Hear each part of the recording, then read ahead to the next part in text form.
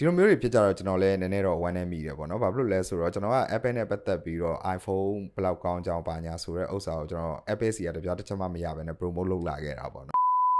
ဒီ green screen က software ကြောင့်လည်းပေါ်လာနိုင်တယ်လို့ hardware ရဲ့အဆင်မပြေမှုဒါမှမဟုတ် hardware ရဲ့ပြဿနာတစ်ခုခုကြောင့်လည်း green screen ပေါ်လာနိုင်တယ်ပေါ့နော်အတိပ္ပယ်က software ကြောင့်ဖြစ်တဲ့ green screen ကအိမ်မာရင်ခင်ဗျားတို့ပြန်ပြီးတော့အဆင်ပြေလာနိုင်ခြေရှိပေမဲ့ hardware ကြောင့်ဖြစ်တဲ့ green screen ကကြတော့ခင်ဗျားတို့ sign ကိုပြန်ပြီးတော့ဝယ်ယူတဲ့ဆိုင်ကိုပြန်ပို့မှသာအဆင်ပြေနိုင်ခြေရှိပါတယ်။ software ကြောင့်ဖြစ်နိုင်တဲ့အခြေအနေအများစုတွေကနှစ်ခုကပါလဲဆိုတော့ dark mode သို့မဟုတ် night shift အဲ့လိုမျိုးတစ်ခုသုံးထားတဲ့အခါမှာလည်းဖြစ်တတ်တယ်လို့ software update လုပ်ပြီးတဲ့အခါမျိုးတွေမှာလည်း green screen ပြဿနာဖြစ်တတ်တယ်ပေါ့နော်အဲ့လိုမျိုးကြုံလာတဲ့အခါကျရင်ခင်ဗျားတို့ iOS ကိုပြန်ပြီးတော့ဒီ computer နဲ့ပြန်ပြီးတော့ restore လုပ်မယ်ဆိုရင်ပြန်ရလာနိုင်ခြေရှိတယ်လို့တင်ထားတာရှိတယ်ပေါ့နော်တခုရှိတာဒီနေရာမှာပြောပြနေတာကျွန်တော် knowledge အနေနဲ့ပဲပြောပြနေတာဒါဖြင့်ဒါလောက်ပါဆိုပြီးတော့ force ပေးတာမျိုးမဟုတ်ဘူးကျွန်တော် knowledge တခု sharing လုပ်ပေးတယ်လို့ပဲယူဆပြီးတော့ကြည့်ပေးဖို့ အဲမြတ်တာရက်ခံပါတယ်နော်အဲ့တော့ဟုတ်ပြီဗျာကျွန်တော်တို့ software ကြောင့်ဖြစ်တဲ့ပြဿနာကိုတော့ထပ်ပြီးတော့အကျယ်ချက်မပြောတော့ဘူးအတိကက hardware ပေါ့နော် hardware ကြောင့်ဖြစ်တဲ့ပြဿနာကိုပဲနည်းနည်းလေးကျွန်တော်တို့ deep dive လုပ်ပြီးတော့ကျွန်တော်ပြောပြပေးကြပါတယ် ပထမတော့ဒီ green screen နဲ့ပတ်သက်ပြီးတော့ပြဿနာတက်တဲ့အခါမှာကျွန်တော် like ရှာရဲပေါ့နော် like ရှာတဲ့အခါမှာမြန်မာနိုင်ငံတည်တံ့မဲ့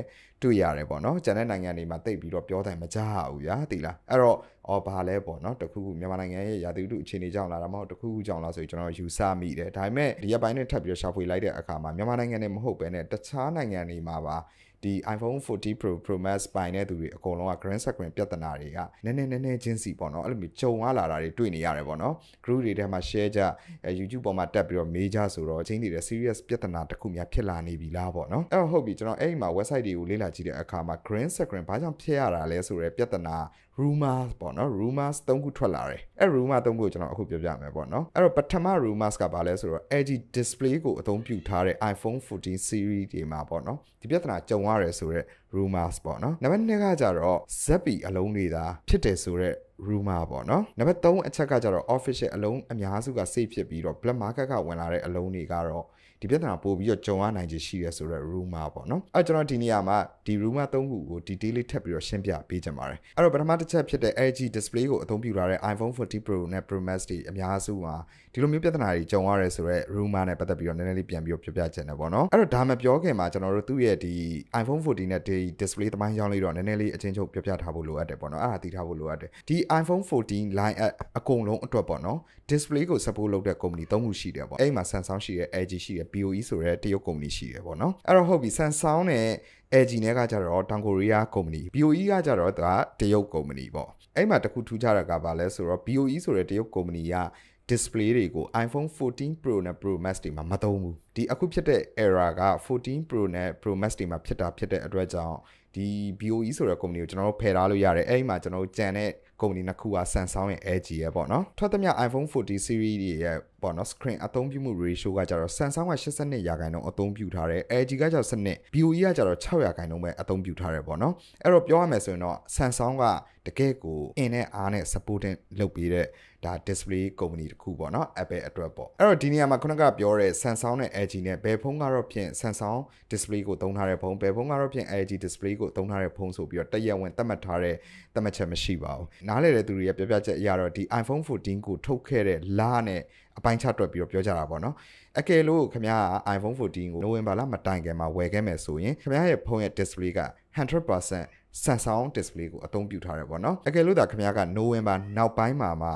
iPhone 14 Pro နဲ့ Pro Max ကိုဝယ်မယ်ဆိုရင်တော့ခင်ဗျားရဲ့ဖုန်းက Samsung display လည်းဖြတ်နိုင်တယ်လို့ LG display လည်းဖြတ်နိုင်တယ်ဆိုတာသတိထားရမယ်ပေါ့နော်အဲ့တော့ဟုတ်ပြီ rumors ကိုပြန်ပြီးတော့ကြည့်ရမယ်ဆို rumors က LG display တွေကိုအပြစ်ပြောထားတယ်ပေါ့နော် LG display သုံးတဲ့ဖုန်းတွေမှာဒီလိုမျိုးဖြစ်တယ်ဆိုပြီးတော့ပြောထားတယ်အဲ့တော့ကျွန်တော်တို့ပြန်ပြီးတော့ဒီထုတ်လုပ်မှုနဲ့ပတ်သက်ပြီးတော့ LG ထုတ်လုပ်မှုနဲ့ပတ်သက်ပြီးတော့ပြန်ပြီးတော့လေ့လာကြည့်ရတဲ့အခါမှာနိုဝင်ဘာလနောက်ပိုင်းမှာ LG ကပြဿနာတက်တယ်ပေါ့နော်ဘယ်လိုတက်လဲဆိုတော့သူ့စီမှာ technical challenge ပေါ့ဘာလို့လဲဆိုတော့ iPhone 14 Pro နဲ့ Pro Max display တွေအလုံးရင်းနဲ့သူ့စီမှာ demand ဖြစ်လာတဲ့အခါမှာသူ့ရဲ့ထုတ်လုပ်မှုပြဿနာထုတ်လုပ်နိုင်စွမ်းပြဿနာတော်တော်လေးကိုကြာဆင်းသွားတယ်ပေါ့နော်ဘာလို့လဲဆိုတော့အလုံးရင်းဝင်လာတဲ့ဥစ္စာသူအချိန်မီထုတ်ပေးနိုင်တဲ့အနေအထားမျိုးမရှိဘူးဖြစ်နေတာပေါ့နော်အဲ့ဒီမှာ Samsung နဲ့ပေါင်းပြီးတော့ထပ်ပြီးတော့ထုတ်နေရတယ်ပေါ့အဲ့နောက်ပိုင်းမှာဒီ Samsung နဲ့ LG နဲ့က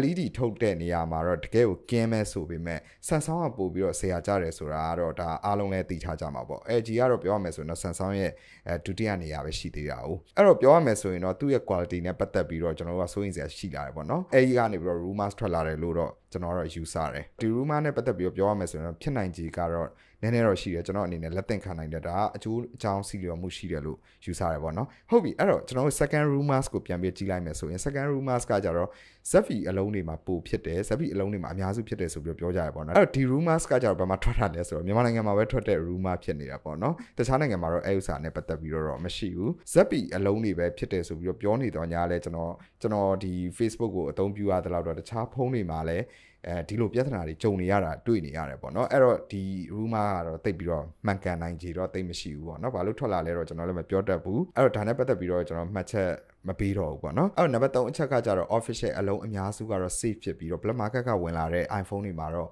ဒီပြဿနာကိုပို့ပြီးကြုံရလာနိုင်ခြေရှိတယ်ဆိုတော့ rumor ပေါ့နော်အဲ့ဒါကတော့လည်းပြောရမယ်ဆိုရင်တော့ဒါ black market ကလာတာလေဖြစ်နိုင်ခြေကအမျိုးမျိုးရှိနေရပေါ့နော် green screen မှာမဟုတ်တခြားကိစ္စတွေလည်းဖြစ်နိုင်ခြေရှိတယ်အဲ့တော့ဒီ rumor ကလည်းကျွန်တော်တို့လက်သင့်ခံလို့ရတယ်ပေါ့နော်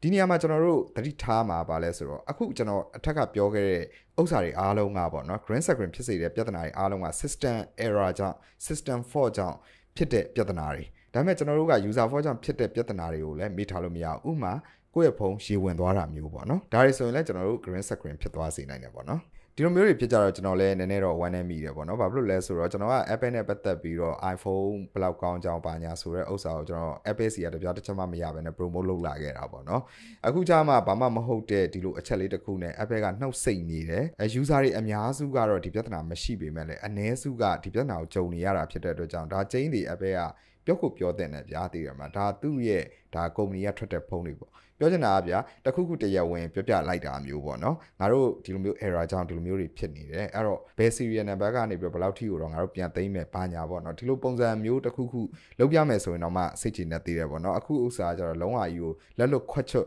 လုံနေတာကြီးကကျတော့တိတ်တဘာဝမကြဘူးပေါ့နော် user for ပဲဖြစ် system for ပဲဖြစ်ဖြစ်ပုံဝင်လင်းလင်း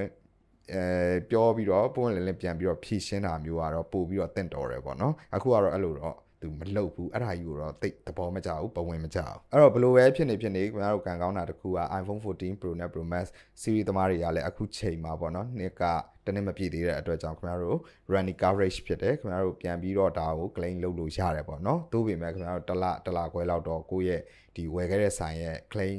ပေါ်မှာမူတည်ပြီးတော့ခင်ဗျားတို့ကြားနိုင်တယ်အဲ့တော့ဒီအဖြစ်ပြက်လေးတွေကတော့အခုလက်တလောမှာဖြစ်တဲ့ပြဿနာမို့လို့ကျွန်တော်အနေနဲ့ကိုနည်းနည်းလေးလာထားရတဲ့လောက်ကိုပြန်ပြီးတော့ဝေမျှပေးတာဖြစ်ပါတယ်ဒါတွေကိုအတီယူပြီးတော့ဒီဥစ္စာမှဒီဥစ္စာဆိုတဲ့ပုံစံမျိုးနဲ့အဲ့လိုမျိုးသတ်မှတ်လိုက်တာမျိုးတော့တိတ်ပြီးတော့မလုံနဲ့ပေါ့နော်ကျွန်တော်ပြောတာလဲမှားကြလဲမှားမယ်ဘာဖြစ်လို့လဲဆိုတော့ကျွန်တော်ကလည်း reference ယူပြီးတော့ပြောတာဖြစ်တဲ့အတွက်ကြောင့်အကယ်၍များကိုယ့်ရဲ့ဒီပတ်ဝန်းကျင်မှာဖြစ်နေတဲ့ပြဿနာဒါမှမဟုတ်ကိုယ့်ဖုန်းက ဘယ်လို model မှာဘယ်အချိန်မှာဘယ်လိုမျိုးဖြစ်သွားတာလဲဘာညာဆိုပြီးတော့အဲ့လိုမျိုးဝင်ပြီးတော့မှန်ပေးနိုင်တယ်ဆိုတော့ပို့ပြီးတော့ကောင်းတာပေါ့နော်တခြားလူတွေလည်းအာဒါကဘာကြောင့်ဖြစ်လဲဆိုတော့ဥစ္စာအဖြေပေါ်သွားမှာပေါ့အဲ့တော့အားလုံးဝိုင်းမှန်ပေးခဲ့ဖို့လည်းမေတ္တာရက်ခံပါတယ်ကြည့်ရှုအားပေးကြတဲ့လည်းအားလုံးကိုကျေးဇူးအထူးတင်ပါတယ်ခင်ဗျာ